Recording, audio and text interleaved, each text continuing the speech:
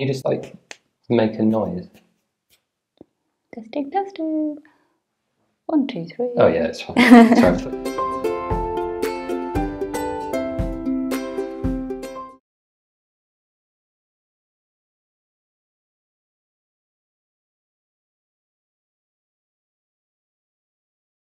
Hello, my name is Claire Carmichael, final year adult nursing student. I'm here with Ollie. I'll get Ollie to introduce himself and what he's doing. Hi, uh, I'm Ollie. I'm one of the second year, about to go into third year, medical students at Warwick Med School, and I think we're here to talk about med school and nursing school. Amazing. So I've got all of your questions for Ollie in my little book of wonders. Um, so the first question I've got Okay. is Do you get a bursary like nursing? I know We- they've cut the bursary now. but- Yeah, I we do, but not not in the same way that a nurse or a nursing student would have done. Basically, the way ours works is it's more like if you were doing a normal degree, you get your maintenance loan. That's what we get from the NHS as medical students, and they do contribute to our tuition fees, um, but they make up the shortfall that's not paid for by Student Finance England, if that makes Oh, sense. okay. So, you have to pay part of it back. yeah, yeah. So it, it's it, ours is a loan. Like we do pay Okay. course fees. Okay. Um, so I'll, I'll be a hundred grand in debt. Oh you know, God. by the end of by the end of my uh, medical program. oh, So we do get some money, Yeah. but it, it doesn't cover out Okay. everything like it might have done for a nursing Yeah. okay. So second question: What are the main differences in what we're taught between nursing and medics? It's an interesting off- question. Yeah, it's come off really like. I I live with a, a nurse, so one, one of my one of my housemates is a qualified A and E nurse. yeah. um, but is in the same year of the medical program as me. Feel like this may be completely wrong. Yeah. The feeling that I get from from the nurses that I speak to in hospital and the nursing students that I see is that you guys are taught a more holistic Mm. model of, of care, Mm. whereas medical school, particularly early on, the focus seems to be on the kind of textbook anatomy, physiology, pharmacology, Yeah. um, that type of thing. But I assume that nurses need Yeah. that we as do, well. Yeah. So yeah. So in our course, it's I know at our university at Birmingham City. Um, I'm assuming other universities structure theirs differently, but we're taught the professional values at the start, NMC code conduct, the law, and all of that, what to do, what not to do, and then we go into the first year's basic anatomy and physiology. So it's more learning the structures, um, the different body systems, and then second and third year sort of builds on them. So we'll go into more case studies and conditions yeah, but we'll look at the physiology of the conditions. So we're only taught so many conditions, we're not taught everything. Um, I think in doctoring, you're probably doctoring medics. yeah, yeah. I, mean, um, you're probably taught a lot more. I, I- it's difficult because that sounds, at least in theory, that's the same model as how we, you know, Mm. First year, particularly for us, the four year program was basic anatomy, physiology of like all all the body systems, and then second year and beyond is is the cases and learning you know how to differentiate someone with cardiac pain from Mm. pleuritic pain or whatever. Um, in terms of the, yeah, the, the actual content Mm. differences, I don't know. Like we can get very molecular and things and Yeah. genetic, but you might have the same. It's difficult. I think you probably go into more depths and have a lot more conditions, is my guess. like That's I, I have to assume maybe, Yeah. but I honestly don't know. Like for our case studies, we'll have the patient, a pretend patient, and then they'll go into um, okay, so this patient's got MI, so then we have to know what the condition is, Yeah. what the treatment is, Yeah. signs, symptoms, yeah, how as a nurse you're going to treat that patient, Yeah. and what you're going to monitor, and then how you're going to care for them, not care for them, but plan ahead so when they get discharged back in the community, right. making sure they're safe and not readmitted back into hospital. Okay, so MI, I mean that that's a good example. So I guess what we'd be taught is, in first year we'd have done, you know, the the relevant anatomy of, of the Mm. heart and the um, the kind of electrophysiology of the heart and how to read an ECG and how. No, no, okay, so that might be like.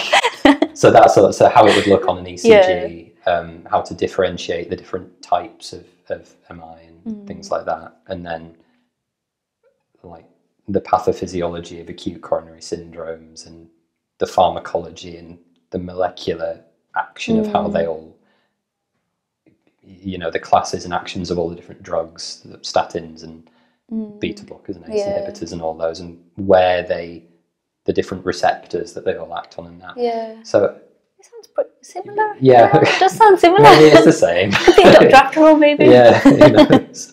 Did you ever think about nursing? I thought this was a good one. that is a really good question um, I I didn't Mhm. but in retrospect, like not for a good reason. Yeah. um, I did the same thing that I think a lot of people do wrongly, which is when you get to you know fourteen or fifteen or whatever, and you're thinking about what you're going to do.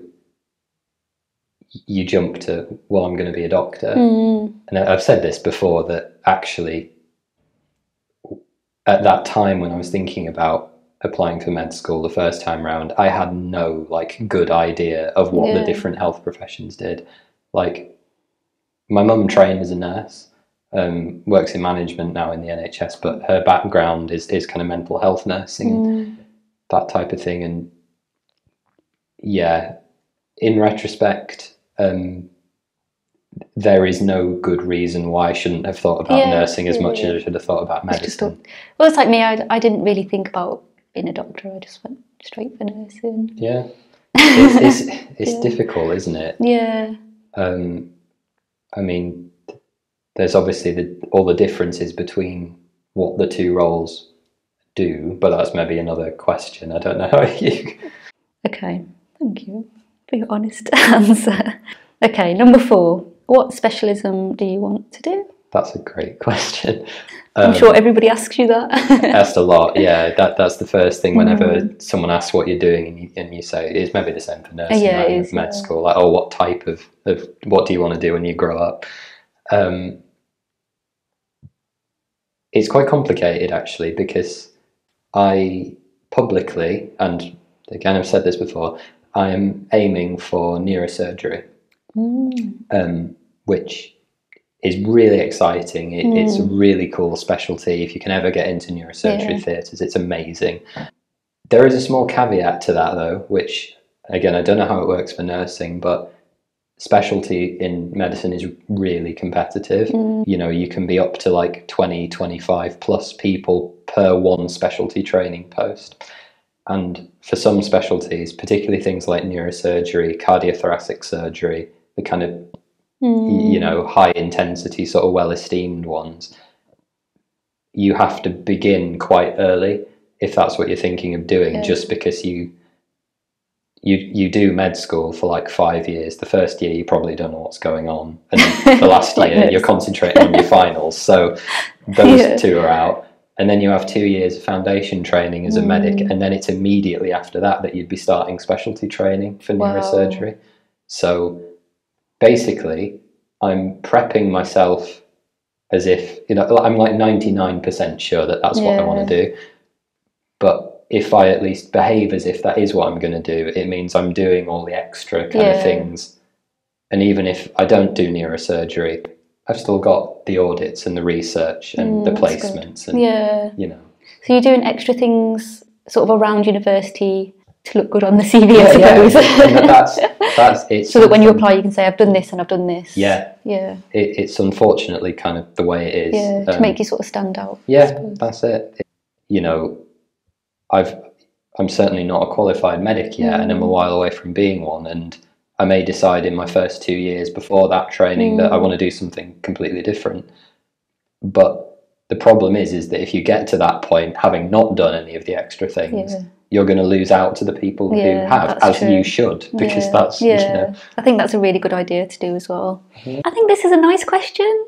It's very open. all right. so, what does being a doctor mean to you? Oh, that's a huge I'm question. really sorry. No, I mean, obviously, Blame Yeah. the people asking the question. obviously I'm not a doctor to start with, so Yeah. um, what do I think a doctor is? The problem is, is that a lot of this is going to overlap with what a nurse is.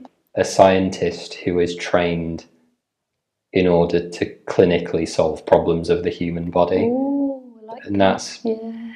that's how I kind of they, they they sort of talk about doctors as being sort of um, you know the scholar and the scientist, and that's kind of how I I see it. Someone who is almost like engineering, but for the human body, Yeah, like someone who is using science to work out what the problem is, and then you, you know come up with a Mm. plan or, or something using your other science knowledge to yeah. to solve a problem. But there's also the, the person facing element. I mean, I nearly started a PhD after my first degree in something like genetic engineering, Okay. completely not human facing. And I, I just decided ultimately that I think I need that personal connection Yeah. that you get. I wouldn't want to be stuck in a lab all day. I think I need that. Yeah, personal yeah. They say the same with nursing. It's like the science and the art, Yeah. sort of hand in hand. It's Yeah. nice. I like that. Thanks.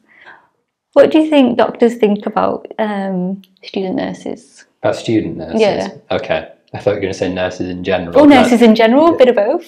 Right, okay. okay. Sorry. No, okay, fine. As a medic, right, uh, I'll start as a medical student and then just Yeah. so I don't get myself in trouble. As as, as a medical student, and I've heard that this doesn't Oh. change when you're a junior doctor, Mm. and it probably doesn't change when you're working up to a consultant as well. Um, nurses are your lifeline on the wards because while the consultants expect us to I get the feeling that the consultants expect us to know what to do Mm. because the medical school or someone will have told us. That's never ever the case. When we're let loose onto the wards, we have absolutely no idea what's going Mm. on. Um, and unlike student Mm. nurses, we can't be useful a lot of the time because we don't have the skills Yeah. to yeah. to be. So definitely nurses, nursing students, they all in, know kind of infinitely more what's going on than we do. So, you know, if I have a problem, student nurse is a great person to ask because they won't judge me for what I don't know. Yeah, that's true. Um, in terms of this is this is real, and I kind of wish it wasn't, but definitely a couple of times when I've been in theatre, the consultant surgeon was much much nicer to me as a Mm. medical student than they were to the Mm. like I got the feeling that the nursing students were kind of an annoyance to them Yeah. but it shouldn't be like that and, No. and that that's a rare case Yeah. like I've only seen that twice literally Yeah. But that really kind of stuck with me and it was like these two have as much to learn Yeah. from this as I do Yeah. in fact they probably know more about what's going like I understand the anatomy in terms of attitudes sometimes Yeah. that doesn't always bear itself Yeah. out I think that's Yeah. how I would put it Yeah, and I think in um, defence of some people, there are some bad students out there. Yeah, yeah, give those other students a very bad name, so they're a bit more cautious, maybe. yeah that's true for medical students as well Medics or yeah, nurses. Okay, anyway, moving on. So number seven, what's the hardest part of your degree so far? all of it. um, the, the hard, the, I, I will say this until I think my dying breath, which is that medicine as a course, and I don't know how you feel about nursing, Mm, medicine, in terms of the knowledge that you actually have to acquire, is not hard. It's like A level biology, like Mm. level. If you can do A level biology, you can do medical school.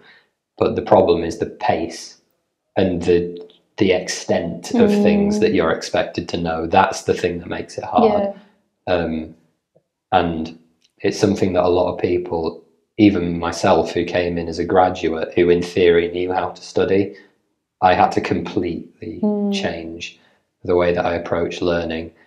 And there's a lot more. Um,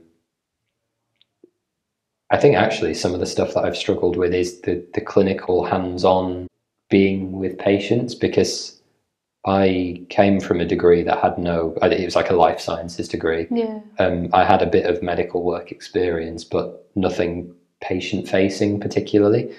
So, in retrospect, actually, I think I would have benefited from from taking some time to work as a healthcare assistant or something like Mm. that. that's been quite difficult in some cases, particularly breaking bad news Yeah. Oh and God, yeah. things like that.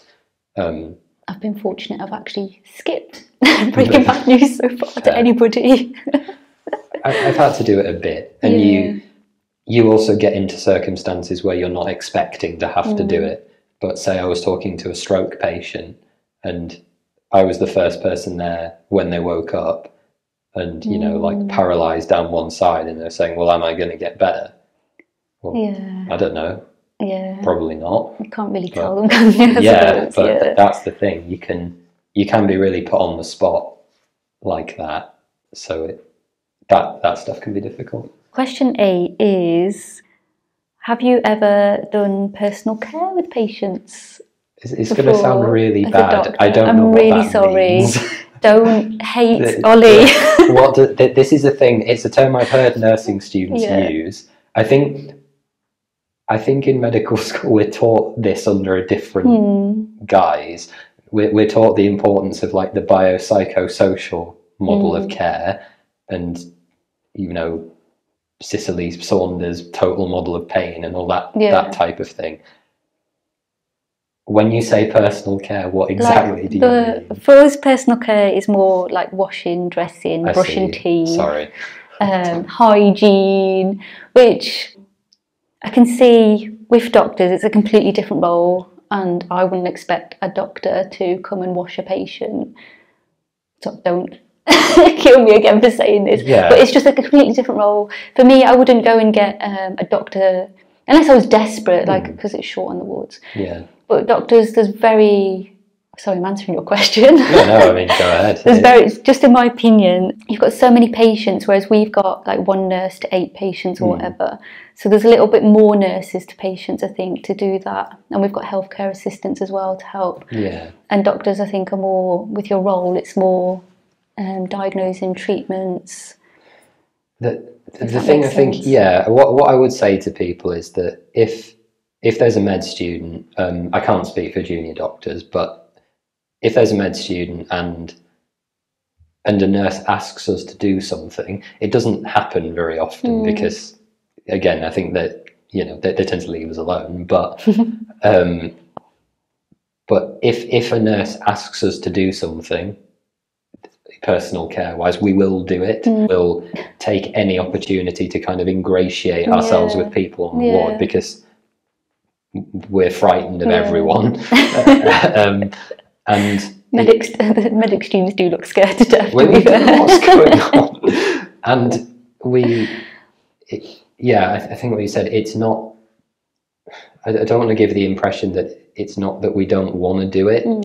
We, it's just something that we're never taught to, to do or Yeah. is asked of us usually. Whether that's right or wrong, I don't know, Yeah. particularly for I med don't think students. it's wrong. Yeah. Um, but they are just different. For, our, our goal when we go onto the ward is different Mm. um, you know, for better or worse. Yeah, and I think that's understandable. So, next question is someone wanted to know if they could go into medicine after nursing. Do you think it would be easier?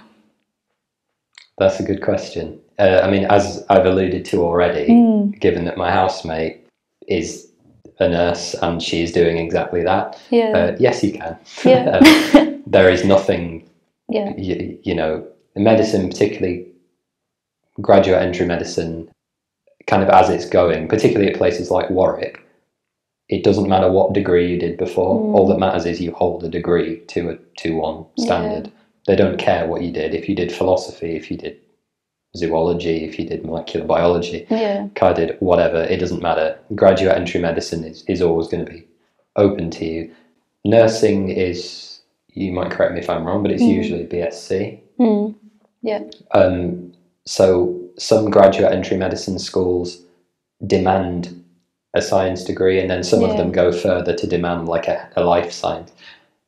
I mean, obviously, nursing being what it is, I think satisfies virtually any criteria that they're going to have yeah, there. In terms of it being easier, that's a really difficult mm, thing to answer because the entrance process is quite rigorous and ju- ju- just so it's kind of clear th- they won't look upon you more favourably just because you're a nurse, if that makes sense. Yeah. It's it's more you know you have to do well on the entry exam and do well in the interview. But then obviously, if it comes to an interview situation and you're being asked, you know, why why do you want to do this? Are you good with patients? Yeah. If you've been a nurse and been through that process, you're going to be good at all yeah. those things. Yeah. So I think that's the part that would Mm. be easier, and I think you would find adapting to Mm. clinical placements a lot Yeah. easier. Um, and you'll know a lot of the clinical skills Yeah. and things that you know how to take a manual blood Yeah. pressure, how to maybe do an ECG if you worked in that department, how to manage a deteriorating Mm. patient. Nurses tend to be really good Yeah. at that. You were saying about the entry exams. Mm. Is it just maths and English, or do you have like a whole separate? It's it's its own. oh, okay, thing, that's interesting. Because we just have maths, English, and then um, the interview. But that's like a test that they make you do, maths Mm. and English. Does it have a name? Just maths and English. It's just a math. All right. fair. numeracy and English, I think. Just Okay. numeracy and literacy, I think, the official. We, we have a, that's a, test called the UK. It's, it used to be called the UK CAT. It's called the UCAT oh, now, okay, yeah. which is it's what they call an aptitude test, and a lot of the questions can seem very like random and obscure, Mm. but it just general comprehension. There is numeracy. There's a bit of abstract reasoning and kind of situational judgment that they ask about. Oh, okay. Um, but it's more, I would say it's more a screening tool. Mm. And then if you do well for your particular medical school, um, you get a high enough score, you'll then be asked to interview. And then, you know, obviously you go from, from Yeah, there. That's kind of how it works. thanks. You did your three years undergraduate degree before, and now you're doing medicine. Yeah. So are you now self-funded, and how do you manage? That's a question That's, someone that's a good know. question. Graduate entry medicine is one of the few courses in the UK that allows you to receive two lots of funding. So I did my first degree and received the standard student finance package for that. You know, I, I got my tuition paid for. Mm. Um, I got my maintenance loan, and that was enough to cover all of that. Graduate entry medicine, if you study on a four year program, you get that again. Although th- there is some crossover, the NHS starts to fund you, and student finance gives you less, but the NHS covers more. And Mm. the only thing you do have to find is, I think, just over three thousand. You have to pay as like a lump sum, and that that's the only input that you have to have into your medical tuition. Okay. Um, which I was very lucky to have in savings from kind of working because I Mm. knew this was what I wanted to Yeah. do. So I saved um, before my first degree and through my first degree, and and and that. So once you've done that, in theory, it works the same way. If you do a five-year program as a graduate, you are not entitled to that student finance. Oh, okay. So you would have to self-fund, Mm. you know, forty-five grand or whatever it would Oh be. my god. That that's the main. Yeah, e- exactly. so that's why when I was applying, I was only applying for four-year programs. Yeah. How many hours of clinical practice do you do? Well, it says med meds versus nursing. In terms of who does more placement. Yeah. So how many hours do you do? it, the GMC stipulates that you know we have a certain amount of contact hours. I don't know what that number is. Mm. Um, in in reality, and I think that we were talking on the way here, this is going to be one of the, the biggest differences. Nurses, from what I understand, you basically have to be there from eight till I, I Yeah, don't know. Do you all do day. is it like all eight day, till eight, or day. do you do It depends on the trust. Like some places are eight to eight, some are seven till half seven. Um, where I'm at now the community, it's nine till five. Yeah, um, but I mean, even even nine to five every day. In practicality, at least in my experience, we do nothing like Mm. that. Say I'm on clinical placement in, in cardiology, right, for for, for a week. Um, they might want me at the ward round every day, Mm. so you know, a couple of hours. I might go to a clinic in the afternoon and, and see patients and, and kind of be with the consultant. Um, I might be, I don't know, in the library studying or something. But the big difference is that usually, and it, it depends on your consultant, um, normally we don't have to be anywhere at any given time. As some of you might know, we have the 2,300 hours that we have to do over Right. three years, and we have to do that before we get onto any register. No. If we don't do it, we don't get our pin, basically. And we have to we have a timesheet for every placement. We have to get the mentor to sign, and then we submit it to uni to show what hours. I mean, my my answer may change because this year has been our like transition year. So mm. first year there's no clinical placement. Second year we did three lots of ten weeks. Um, after this, assuming I go through into third year, um, it will be full time clinical education again. So that may be different. There may be timesheets. I may have to be here and there at given times. This past year, that hasn't been my experience. And, and I've been in every day. You know, I, I think you should absolutely do yeah, that. yeah. Get in theatres, get on the wards, be examining patients, um, go to the MDTs, you know, do the ward round, all of that, because I think that's the best way to learn. Yeah, yeah. But if I hadn't done those things, I'm pretty sure that no one would Yeah, have noticed. Like it's a bit more relaxed, I think, isn't Yeah, it? Maybe. Um, so somebody would like to know how to aim for a first, and how hard is balancing everything. So Wait, do you get classified? We were talking about this, weren't we? We were talking yeah. about this. in med school, there's not um, firsts don't exist. Um, in, in my undergrad degree, obviously they did. I was very lucky and did manage to come out with a first. I should very quickly say, not because I'm a good student, because I'm not. um, the reason that I got a first was that because of the way that my degree was weighted so heavily towards the dissertation, I just did very well my dissertation, Oh, yeah. which dragged literally Everything. everything else um, up to such a degree. My average performance was like probably high 60s. Hmm, Um, that's good. yeah, yeah, which I was perfectly happy with, um, but is not first, crucially. Mm. Um, so, what I would say, what I did certainly in my second year, I did a really stupid thing, which was deciding to take all the modules that sounded really clever to be like. Oh. So when I was applying for jobs, I thought, look, I've done all these modules in Mm. like statistical management of this Oh, and like God, evolutionary yeah. genetics and like, that's not how you get a Mm. first what how you get a first is by picking modules that you know you're going to do well Mm. in or that are really easy to do very well in and don't demand much Yeah.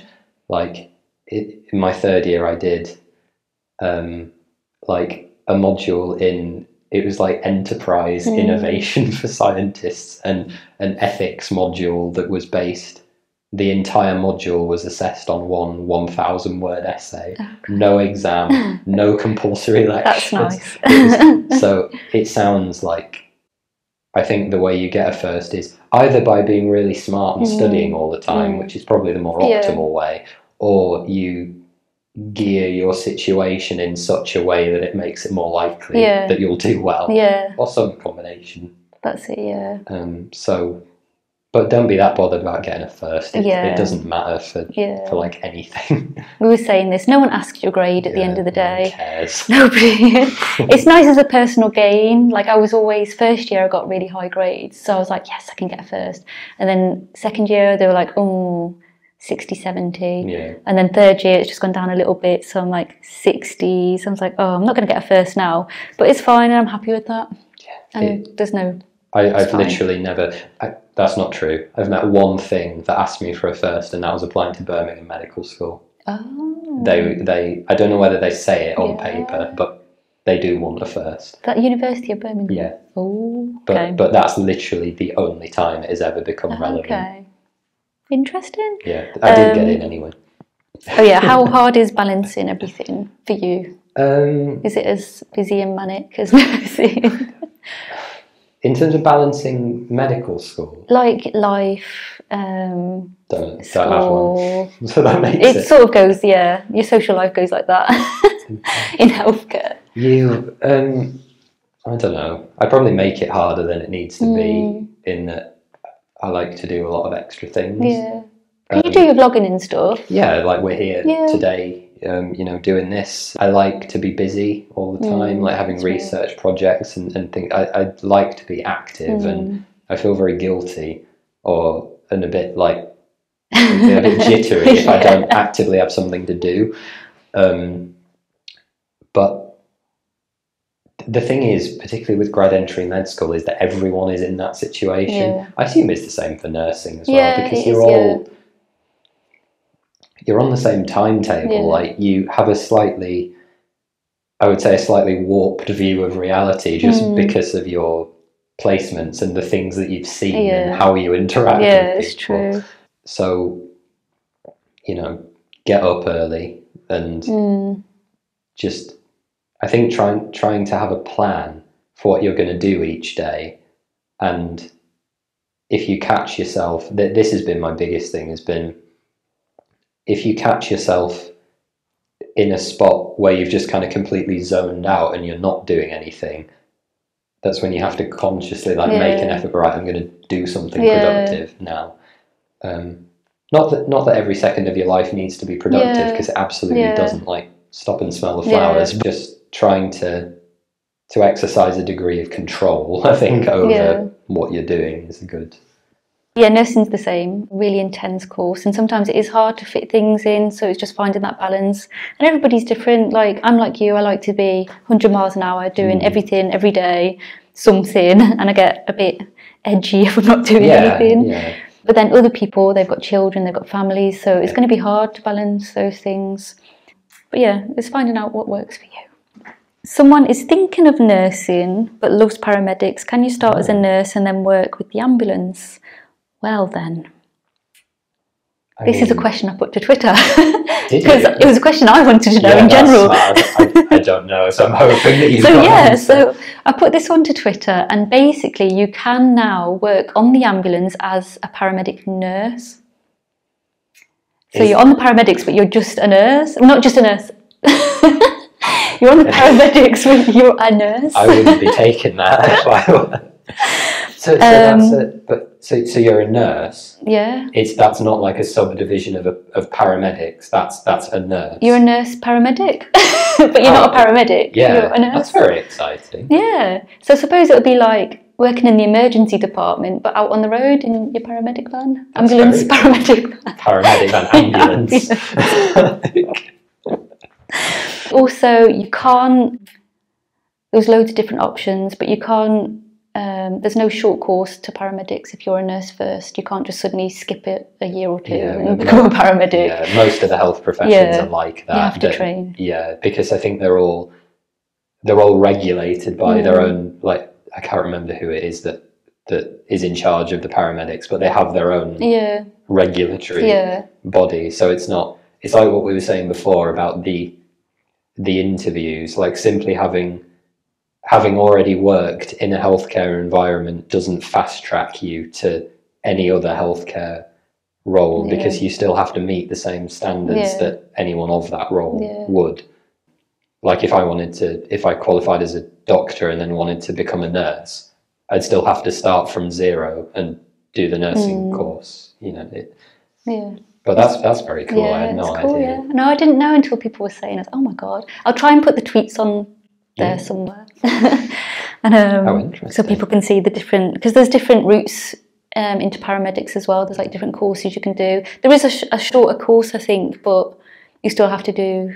I don't know. I, I, There's loads of different routes anyway that people will Uh, comment in on. maybe if you just work in ED, because I know my housemate did, and she ended up in ambulances a lot. Oh, okay. But that was like transferring Yeah. patients. Oh. So So yeah. Oh. Um, it's worrying. How are the relationships between doctors, nurses, um, consultants? Do you think that have you ever encountered a hierarchy? Yeah. This is basically what we were talking about earlier, Yeah. wasn't it? The NHS is massively hierarchical. Like I I think it's one of those things that you see like printed on posters everywhere. Like Mm. you know everyone's on a level playing field and you, you should be able to speak up in front of your superiors and it just Yeah. doesn't work like Nobody that in practice, um, and that that's true. I think across, like, it's definitely true within tribes, as it were. Like, there'll be Yeah. you know nurse practitioners and and consultants and junior docs and medical Yeah. students and all that, but probably across specialties, uh, across areas as well. I still, um, yeah, it's very, it's very rank Yeah. sensitive. I mean, you're how is right. it for you as a? As a Um, nurse? It's the same. I don't want to say it is, but it is. Yeah. um, and I was just saying actually to the team I'm with at the minute, 'cause I'm out in the community with the district nurses. It's the first time I've ever seen. Um, I don't know if you know the banding of nurses. I, I know So you've got, like, roughly, yeah, yeah, it. band um, two, three, Yeah. four are sort of healthcare assistant, nurse and associate roles, Yeah, and then five is your staff nurse, yeah, and five, six, seven, eight, A and B, I think there is. Um, yeah, So on the ward, you'll have all of those. So where I am at the minute, we've got our band fives who are amazing. Well, we've got HCAs, band threes. Um, HCA is a band four. Then we've got the band five nurse, band sixes who sort of organise the day, and then we have band seven who's the top of the the chain, um, and she sort of oversees everybody. She's in charge of th- that whole team. Is that what a thing. nurse in charge is? Yeah, I suppose, kind of. phrase, but I don't know what it means. Although on the wards it's very different. So the nurse in charge can actually be a band five as well. Okay, Just basically someone they've, they've appointed to take control of the day if anything goes wrong, to deal with any patients, Okay. things like that. Someone that they've just appointed, Okay. basically. But um, what was I saying? Oh yeah, so in my team, yeah, Yeah, you've yeah. got this band seven nurse who's top of the ranking, I suppose. She organises everything. It's the first time I've ever seen a band seven nurse. Don't mean to offend anybody out there that's watching this. I'm sure you're all amazing, but the first time I've ever seen a band seven care for a patient. Yeah. She's got her own patients. She's also um, she her office isn't in a separate office. She sits with the rest of the nurses. Um, she's organised it so that at handover we have handover at half past one every single day. But then that handover is also integrated with lunchtime, so everyone can sit together, have lunch together. Um, and she's so lovely and down to earth. And that's the first time I've seen that because on the ward you don't see it, you don't know where the band seven is Yeah. half the time. Um, the matron or the manager of the ward's usually in their office, and again, don't mean to. This is just what I've seen out there. Um, and it does feel like sometimes there is a bit of a hierarchy and people don't speak up or anything like that.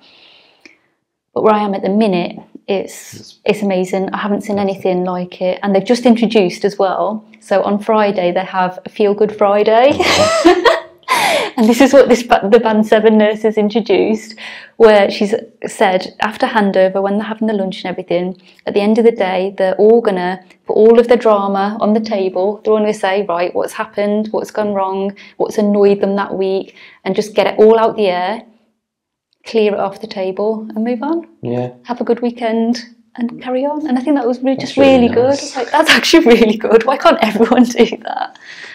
I, Sorry, I waffled then. no, it's worth doing. it? It's, it's, it's like my experience in seeing the medical team again, like the MDTs and Mm, and the the ward rounds and things tend to be, you know, like a consultant, maybe a specialty registrar, a junior doctor, um, or a foundation doctor, and a couple of medical students, and most of the time, despite it being in theory very hierarchical, my experience has been that they're very good at making you feel part of the Mm. team, like like you have something worthwhile to offer, which you don't, but they're good at making you think.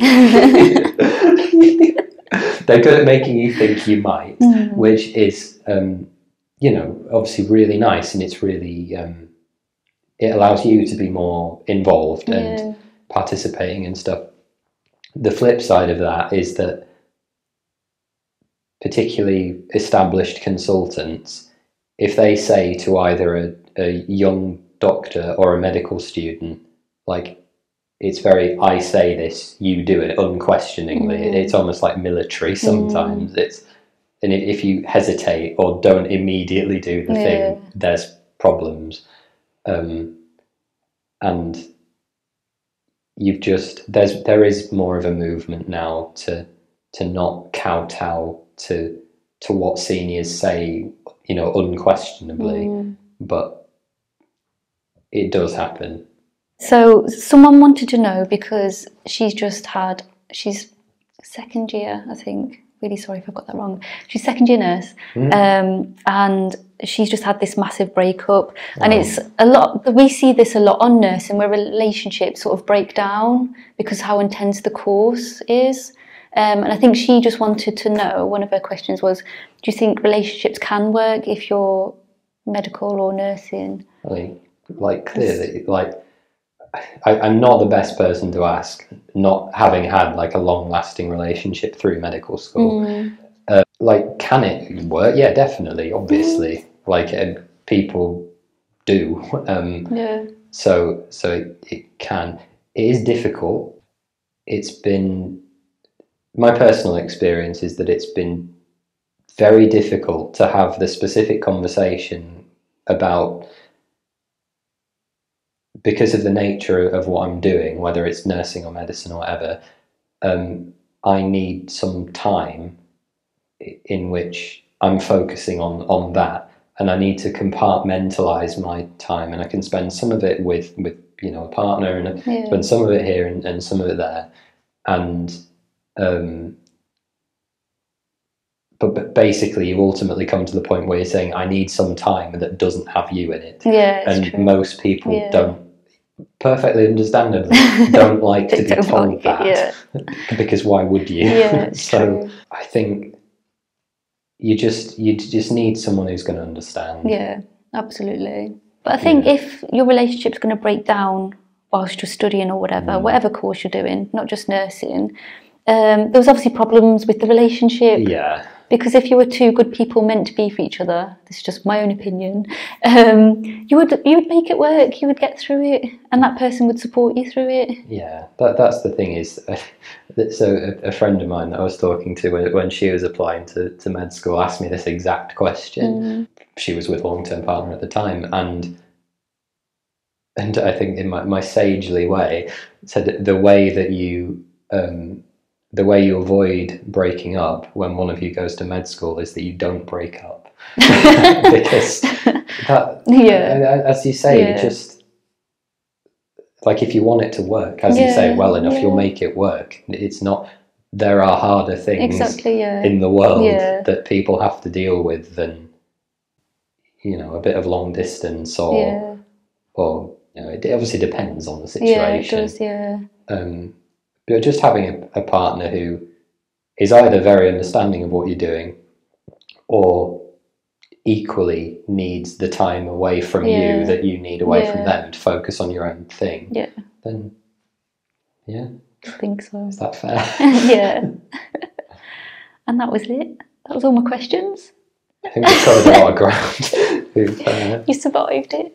well, um, oh, I've really enjoyed that. Thanks. There's some questions I Yeah. thank you any anyone who submitted those. I wasn't expecting. there were, yeah. I had it on my. Instagram, my Twitter, YouTube, everything. God. So yeah. So thank you so much, Ollie. Right. It's been a pleasure. don't give doctors a hard time out there. Doctors are amazing. Actually, in all genuine, honest opinion, the junior doctors, the FY2s, and the students are so good. I've never encountered anyone that's been poor or bad or they've all been so knowledgeable. Like some of them are are really knowledgeable, and I think, oh my god. How? so yeah, so thank you, Oh, Thanks well, thank you all for sending in the questions. Thank you, Claire. thank you everyone me. for the questions. And um, maybe another time Yeah. we'll do something else. I'm sure we will. So that is it from us, everybody, and we shall see you next time. Bye.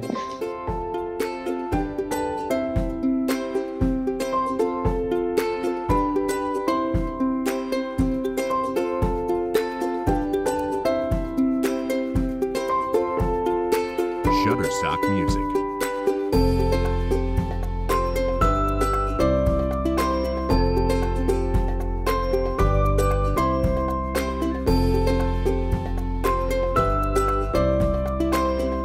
Shutterstock Music.